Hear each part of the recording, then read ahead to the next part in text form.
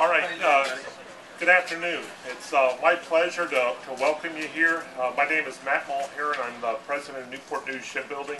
Today was a fantastic day for us. It was a chance for, uh, for Congressman Buck McKeon, uh, the chairman of the uh, House Armed Services Committee, to come to Newport News. And certainly with him are, are two names very, or two faces and names very familiar to, to Newport News.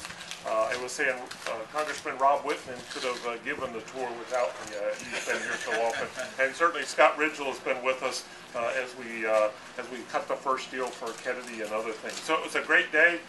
We spent the day out touring the yard. So we have seen the Gerald R. Ford and walked on the ship and stood on the on the hangar bay of that ship. We have gone down and seen pieces and parts of Virginia-class submarines being built, and then we had a pier-side discussion of uh, of what was going on and uh, what a, what a, a refueling overhaul is all about. So uh, a great a great opportunity for the shipyard to go show off what we do, talk about the people that that do this work, and and uh, so it is with uh, certainly my great pleasure to introduce uh, the chairman of the House Armed Services Committee, Congressman Buck McKeon. Thank you very much, Matt. It's great to be here in Virginia, the state that probably has more people working and doing more for the defense of our nation than any other state. I'm really happy to be here with uh, Rob Wittman and Scott uh, Rigell, uh, members of the committee, strong members of the committee, and uh, you know we've been talking a lot in Washington about uh, cutting and getting our, our spending in order. And people say everything has to be on the table. I want people to understand that defense has been on the table. In fact, the first round of cuts, uh, defense was half the table. We've cut almost 500 billion already out of defense this year that will be spread over the next 10 years. It's very important that people understand that that as that goes forward, uh, and the effect that, that that goes across the nation is going to mean that uh, it's going to decrease our ability to defend the nation, and it's going to cut a lot of jobs. And and you know you just have to look back here and see how important our workforce is. And uh, I think we it's it's time that maybe we just take a little breath and step back and say we can't fix this economic uh, problem that we have on the back of our defense. Otherwise, if we're attacked again, who's going to have our back? So, Rob, Scott, happy to be here with you. Matt, thank you. Matt, it's uh, great to be back uh, at Newport News Shipbuilding. And uh, Chairman McKeon, welcome to Hampton Roads. We are really uh, uh, honored and delighted to have you here for you to see firsthand the, the critical work that's being done here to keep our country strong and safe. Uh, it was a, a real privilege to be with Congressman Wittman today and Congressman Forbes as well.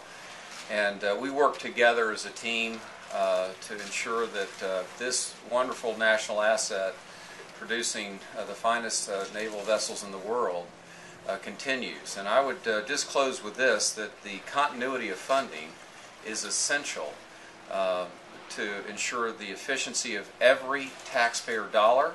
And uh, I applaud the work of the chairman and my colleagues on the House Armed Services Committee to ensure that, uh, funding is made in a, uh, in a manner that allows uh, Matt and his colleagues to plan appropriately. Thank you, Matt. Thank you so much, Chairman McKeon, Scott. It truly is an honor to have the chairman here today so that he gets to see firsthand how important Huntington Ingalls Industries, Newport News Shipbuilding is to this nation. And that's really what it's all about, making sure that we preserve this industrial base so we can continue to build the ships necessary to defend this nation. It's absolutely critical as we face these difficult decisions in Washington to put in perspective the importance of maintaining this industrial base so that we can defend this nation for many years into the future. I know there are tough decisions out there, but those tough decisions require us to understand the critical nature of places like Newport News Shipbuilding. So it was a great opportunity today uh, to meet the men and women who build these ships. Uh, it's a great opportunity for all of us to understand how critical these decisions are going to be uh, to the future of this nation and also to making sure that America remains as a strong presence around the world. As somebody said, if America is not strong, then there are potential dangers that pop up around the world. So what happens here today keeps our nation strong. So thanks again, folks. Quick question for the chairman and the members. Not to be too doomsdayish, but how dire could this get with these these deficit-triggered defense cuts if, if, if the worst came to pass? How, how bad could this be? Well, it, it would, uh, it would result in a loss of about two hundred thousand, uh, military personnel out of end strength. That would be all across the board.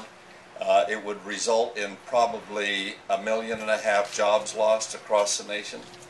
It would mean that we probably would lose the use of two carrier task forces. Uh, We don't know the details of all these cuts yet, but uh, it's important, and I'm glad you asked that question because it's important that people understand very, very serious cuts. As it stands right now, Chairman, given the climate in Washington as you described as sort of the worst case. Well, that- there- what he has. As he described. Right. There already is the five hundred billion in cuts. What, what can you talk about, a little bit about what you think realistically is gonna happen with defense, particularly thinking about Hampton Roads? People here wonder, how much will things be reduced? Because there is five hundred billion less coming out anyway. Where's that gonna, where's that gonna affect? We've already cut almost 500 billion. The secretary will give us the details on that uh, starting in January. But the chiefs are all working on what specific cuts will be made. We don't know what those details are yet, but we've made a lot of estimate. That's how we come to the numbers that I gave. Um, hopefully, the super committee will do their job and will be able to uh, We've, we've cut almost a billion dollars out of discretionary funding. They're supposed to find another one point two billion in, uh, mandatory, uh, spending savings. If they do that, then we'll be spared the, the second five to six hundred billion cuts out of defense, and that makes a huge difference, and I hope they're successful and able to do that. If not, and we move into further cuts in defense, it will be devastating. We will not be able to maintain the same kind of uh, strength around the world that we, that we now have. And uh, we won't be able to maintain the same workforce that we now have, which I, I I just, I, I don't expect to see that happening. Members of the committee, uh, Scott, Rob, they're doing a, a fine job of trying to explain this to the rest of the members of Congress and to let them know really uh, how, how important this is that we get this fixed at an appropriate way. If we cut all of, all of the uh, discretionary spending, we would still be running a half trillion dollar a year deficit. And we can't fix this problem that we've built up over decades in, in just one budget cycle. So we, we need to really focus on this. We need to understand also, we need to put people back to work, not put them out of work. We need to put people back to work and that, and grow our way out of this problem. Chairman, let's assume that super is successful in, in you know, getting these cuts accomplished. Even in that scenario, what are the implications here for, for particularly for this shipyard? For uh, you know, there's a lot of talk of cutting a carrier altogether. There's talk of, of killing an RC, uh, an overlife, uh, excuse me, a midlife overhaul on, on the George Washington carrier. And there's talk of bumping the Kennedy carrier construction back. What do you see the implications being here for this shipyard? Well, you know, a lot of these cuts are coming, the, the Secretary of uh, Defense Gates uh, proposed cuts early this year, late last year, and uh, one was a hundred billion that we would be able to uh, do through efficiencies, and then the chiefs would be able to keep those savings for other, other things that were more important. But then he came up with a, a second seventy-eight billion dollars in cuts. But then the president gave a speech and said we're going to cut four hundred billion out of defense, and all of these cuts are coming from that speech. You know, without any look at what the risks are around the world, without any strategy planning, just four hundred billion, just just take it. And his response, I believe, was that because it's such a big budget, we can take that and then we can use that money for other social spending programs. I think it's important that we really step back and look at that. Are we going to continue to ask our military to uh, to continue to do all of the same missions that they that they are tasked with it now, with much less. I don't want to see that. Um, my job and the members of the committee, our job is to see that those who are put in harm's way have everything they need the training, the equipment, the leadership to carry out their mission and return home safely. And we should not break faith with those people that have been signing up for 10 long years now of war that we've been engaged in, the longest war we've ever been engaged in as a country. And we should not back off one bit from the things that, that they need to carry out those missions. And that starts with the shipyards, with all of the places that we have that are building the equipment to give them the things that they need. And if you, if you stop or slow down and lose part of the workforce, you don't train these people overnight. We just had an opportunity to go through and see these ships being built.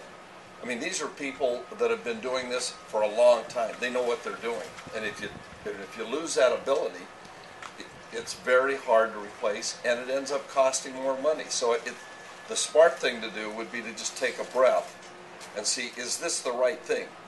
You know, just to give a speech and say, let's cut $400 billion out of defense. I'm not sure that's the smart way to go about this. Given your position on the authority the committee has to control the expenditures or the defense, I, it sounds like you're gonna stand in front of that. You're not gonna let that happen. You wanna see the cane, I don't wanna put words in your mouth, me make sure I understand. The same number of carriers we have now, are those all things that you're gonna, you're gonna not let happen if they push for those things, to reduce the number of carriers? You know, since World War II, our Navy around the world has kept the sea lanes open. That means that we can have commerce, we can trade, we can have economic uh, viability as our ships travel around the world carrying our goods and bringing other goods to us. That's very important to the nation's economy. And we don't want to take that for granted. Without that, without that presence that we've had around the world, um, you know, uh, we probably wouldn't have the, the type of lifestyle that we've enjoyed for all these years since World War II, and I don't want to see that end. Do you see, do you see your committee being even proactive than you've been in terms of proposing some cuts that don't harm readiness? I mean, it's anyone who knows the defense budget you guys who can find that money without cutting, without harming our defense posture, and since giving the super committee a, a different way to go. I mean, do you see you guys kind of moving forward with that? Well, if we're looking for any way we can cut. I mean, you know, to assume that you can't find some kind of savings out of a budget the size of, of our defense budget, uh, I think is ludicrous. And the taxpayer dollar is sacrosanct, we should, we should watch how every dollar is spent. But when I go home and talk to people, uh, and tell them how much has been cut, uh, when they said they want everything on the table, they said, no, that wasn't what we meant. We want to get rid of the waste, and we want to make some, maybe some changes. But, you know, we're, we're past cutting fat. We're getting very close to finishing muscle and getting into the bone. And I do not want to be part of anything to do with hollowing out our military and with wiping out our, uh, our workforce that we so desperately need. Do you ever think you'll get to the point where revenue increases will be on the table if it means avoiding um, devastating cuts in defense? Well, when you say revenue increases, you know, in Washington, there's a lot of buzzwords. You know, uh, one side says revenue increase, they mean tax increase. Uh, there's other ways to have revenue increase. I think I mentioned if we could put people back to work, the 15 million people that are out of work, you put them back to work, you broaden the tax base, they start paying taxes. That's a huge revenue increase, and that's the way to do it. One more question. Uh, Go right ahead. I asked two, you go. Just going back on this carrier issue, what is, I, you know, I know everyone's had a chance to think about this now for a long time because this has been put on the table for a while now. How many security strike groups do you think are required? I mean, is it eleven? It's gonna drop to ten here next year and then come back up to eleven in twenty fifteen, but is it eleven, do you think, going forward? I, I don't want to see it go below that until they can show me that the world is safer. You know, when, when you did your New Year's resolutions this year, you probably didn't think about Egypt and Tunisia and Saudi Arabia and, uh, uh, some of the other hot spots that have, that have erupted uh, just this year. Uh, We've had five hearings in the last month and a half, uh, trying to listen to people, former chiefs of staff, former vice chiefs, uh, outside military experts, former chairman of the committee. We had uh, Duncan Hunter, Ike Skelton, and John Warner from the Senate. And uh, Ike Skelton said in the third, in the in the time he was in Congress, I guess almost 30 years, uh, maybe over 30, he said we've had 13 conflicts and only one did we plan for. All the others come up, you know, unexpectedly. Ronald Reagan said in his lifetime, uh, we never got into any war because we were strong. When you weaken yourself, you open up possibilities for those who would like to challenge you to take to take risks and challenge you. And, and we don't want to do that. We don't want to send our people into any fair fights. We want to have the power that puts them in the in the least uh, uh, harmful situation so that they can return safely. And uh, on our committee, we feel it's our responsibility to make sure the nation understands this, that they understand what's being done. I, I, this has happened so fast. These cuts have happened so fast since the president gave that speech to cut defense uh, by 400 billion dollars that it, I don't think the nation has had time to really see and digest and understand the seriousness of it. Do you think that the fight, I'm sorry, the discussion about defense cuts is a partisan debate? No, no, no. Uh, I met with uh, Secretary Panetta. I uh, met with uh, Adam Smith, the ranking member on the committee. The three of us and all of the members of our committee are strongly uh, saying that we we have given the defense has been cut enough. The 465 billion that we'll see rolled out next year that hits almost 50 billion a year over the next 10 years is enough because as I said, if we cut all of those all of those spendings, we're still going to be uh, running a deficit. That's why it's important for the the super committee to do what is necessary to reform some of these um, mandatory programs because if they don't get fixed, the, the rest doesn't matter.